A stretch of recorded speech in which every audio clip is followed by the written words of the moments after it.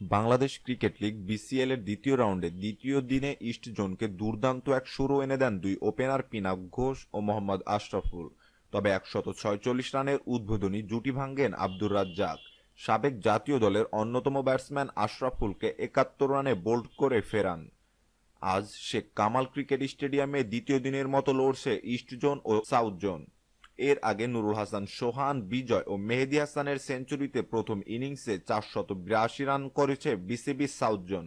ইনিংসে তিনটি করে উইকেট নেন রেজাউর রহমান ও সাকলাইন সজীব।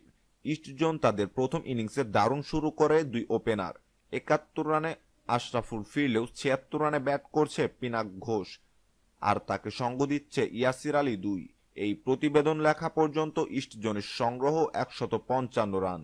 সাউথ জোনের একমাত্র সফল বোলার এখন পর্যন্ত আব্দুর রাজ্জাক।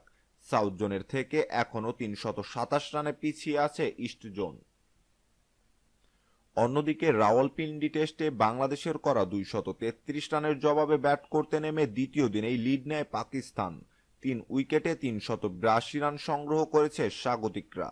দুই দিনের খেলা শেষে বাবর আজমদের লিড একশত নয় রান। ক্যারিয়ারের ছাব্বিশতম টেস্টে পঞ্চম সেঞ্চুরি করা বাবর দ্বিতীয় দিন শেষে একশত বিরানব্বই বলে উনিশটি চার ও এক ছক্কায় একশত তেতাল্লিশ রানে অপরাজিত রয়েছে। একশত এগারো বলে আটটি চারে ষাট রানে অপরাজিত আসাদ শফিক। এর আগে সেঞ্চুরি করে সাজঘরে ফিরেছেন পাকিস্তানের তরুণ ওপেনার শান মাসুদ।